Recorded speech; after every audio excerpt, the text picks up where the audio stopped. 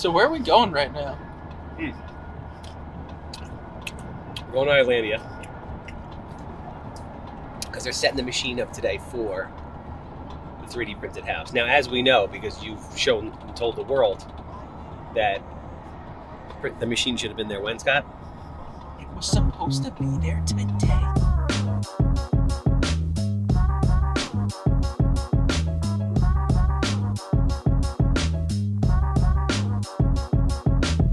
I am fired up. The day has come and we are doing it in a way that nobody else is doing it. And the public is going to get to witness every aspect of the building process. Like I said, no one has ever demonstrated this before. We're going to have people on site watching the build. We're going to document every aspect of it. Hopefully you guys have been following along. If you haven't, here's a link to a bunch of the videos. You should definitely check it out from when the house got knocked down. So we graded the property, we put the plumbing in, and now we're up to assembling the machine. And we're gonna start printing this week. This week. I'm so freaking excited. So what I wanna do is I wanna turn around, I'm gonna show you how the machine is assembled, show you the different parts of the machine, and how we laid out the plumbing, the RCA, and you're actually going to be able to get a general idea about what the house is gonna look like, how the rooms are situated, how the kitchen's situated, living area, before we start printing. So let's go check it out.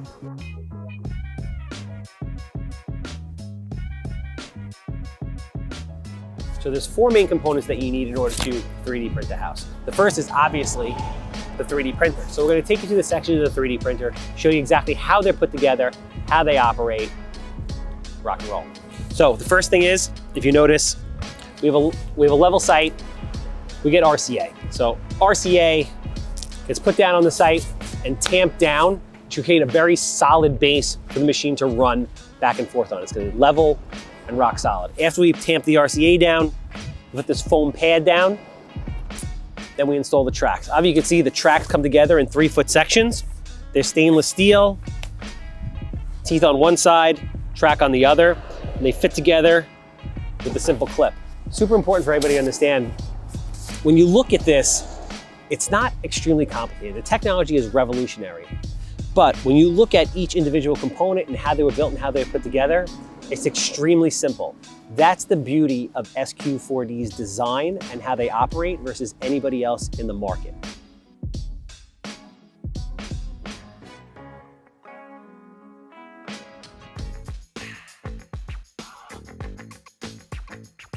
The concrete mixture is simple sand, Portland, and water. You can get it anywhere, in any market, at any Home Depot, and it's very cost effective. The track system hooks together simply. You just need two people, pull up with a trailer, unload everything, put the pieces together, and within four to six hours, the printer is up and running, and you're printing a house.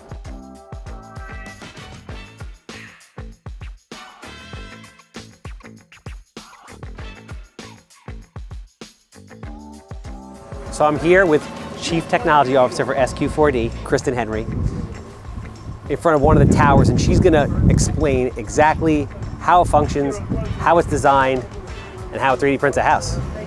Exactly. All right, so we already have one set of tower and track set up here. Uh, we have to make sure that it's very precisely aligned with the uh, whole setup of the house so that we continue to print exactly where we need to be, on track.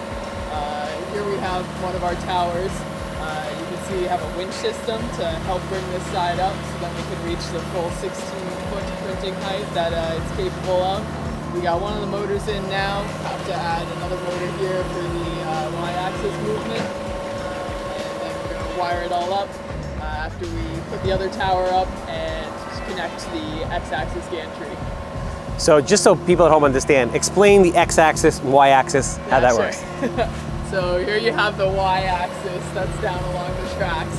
The x-axis is between the two towers going back and forth, and then z-axis is up and down. So when I look at the machine, it's, it's like obviously revolutionary technology. No one's ever done this before, especially the way that you guys are doing it. But when you look at it from like a component to po- component standpoint, it it's very simple, Yeah. which I think is brilliant by design. Yep, there's a lot of aluminum welded together here.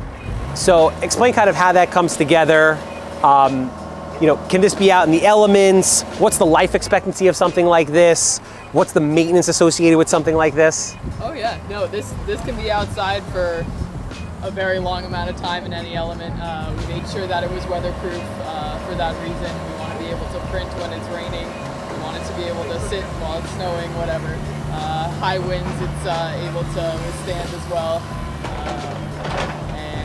Uh, yeah, we, we just wanted to uh, use aluminum here to make sure it was light and uh, we didn't need any really heavy machinery on site to move it around. What's the, I see that they have lights on them. I've seen video and picture of the machine actually running at night. Yes. Right, so assuming the municipality is okay, you can basically run this. Yep, and this is very quiet. It, it doesn't output a lot of sound while operating, so uh, the, the loudest part is honestly the power washer at the end to clean things out. The machine itself doesn't make much noise at all.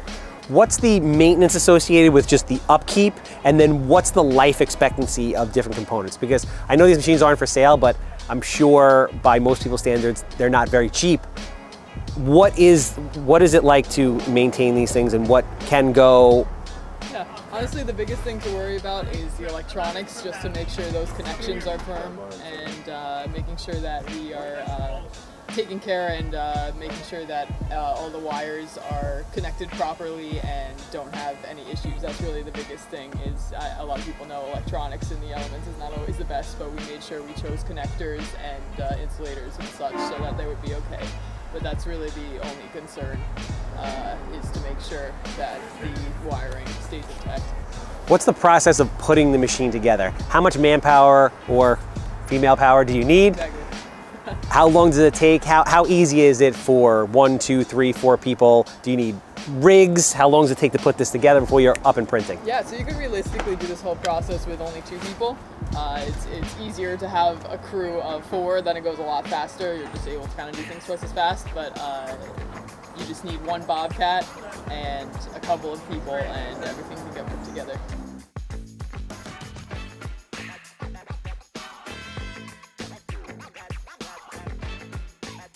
I've built a lot of houses. Yes. This is the most beautiful site I've ever seen. It's like metic- meticulously put together. The way you guys put the RCA, everything's tamped down. Explain how the site was prepped. Explain why we have the RCA here, what these channels are, and what's going to happen first once the machine's put together. Right, so yeah, you can kind of see sort of uh, an idea of what the layout of the house is going to look like. Uh, rather than doing just a traditional uh, uni-thickness slab, we actually have haunches in this design uh, to make sure that all of the interior walls, the non-loaded bearing walls, are really well supported. Uh, so the, the slab's a bit thicker under those areas and then just throughout the rest of it. Uh, but that's just for really extra support since we're going to be digging out the footings and foundation walls are going to go in for the exterior walls, but the interior walls we're going to do the haunches instead. So how, how thick is the slab? So this is a slab on grade foundation. There's no basement here. How thick is the slab itself? So the slab is four inches anywhere there's not a wall. Okay. And then using this uh, architectural plan to have haunches is uh, 12 inches where the Okay. walls are going to be. So basically anywhere where there's interior walls and you have more weight, There's extra support. you need more yeah. support. So you go down 12 heavy, inches. So, uh, and, since this is just a single story home, uh, we don't have to do interior footings, uh, Mm-hmm. but we just want extra support to help uh, carry that weight and make sure the walls don't crack. What's the significance of the RCA and why do they tamp it down like this? Yeah, this is really just the base uh, of, of everything you're building on. So uh, all the ground gets excavated, uh, and sure we have a nice flat surface, uh, and RCA is packed down to make sure that we are uh, level on the site uh, before we begin actually building on it.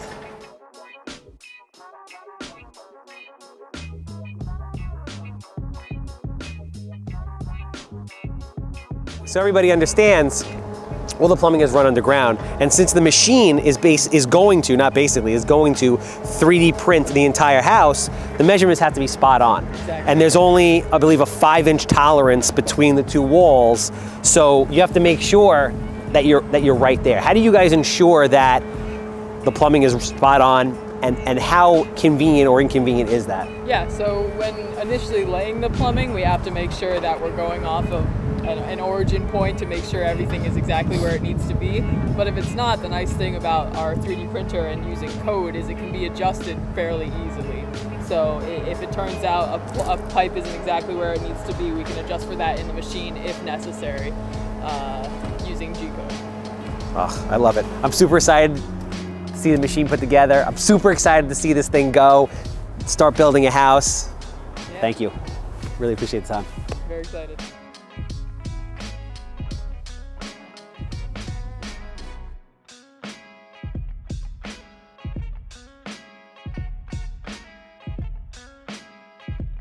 So we're standing in the garage.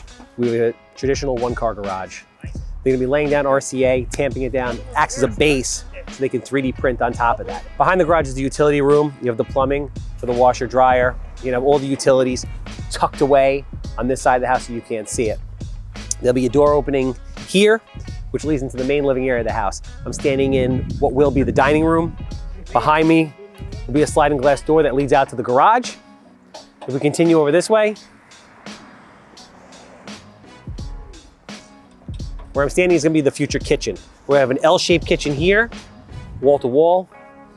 This is where the sink's gonna be. Window faces out the back, which leads again into the dining room, and then right here into your living space. As we start to walk down the hallway, on the left will be your first bathroom for the hallway. On the right, I have bedroom one, bedroom two, bedroom three. To my left, you're gonna have the master ensuite, walk-in closet for the master, and then ultimately the master bedroom right here.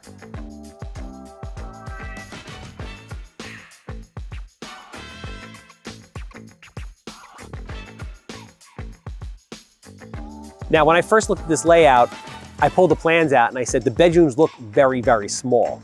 But then SQ4D explained to me that that's not exactly how it works. This is the outline of where the bedrooms are, but the bedrooms are actually much larger. Obviously, we need to excavate and put footings underneath both the interior and exterior walls, so there's an additional space for that. The house is gonna come out right to this piece of twine right here. So the bedrooms are actually very good size. Your master is a 13 by 14, and the rest of the bedrooms are 11 by 12s. So by New York standards, first time homebuyer standards, more than adequate bedroom size, more than adequate bedrooms, more than adequate bathrooms, getting a lot for the money. In addition, the house is gonna have a gray water system where we collect the rainwater and use it to irrigate the lawn. It's gonna have a Tesla charging station, solar panels, and I recently found out that we've made a change to radiant heat.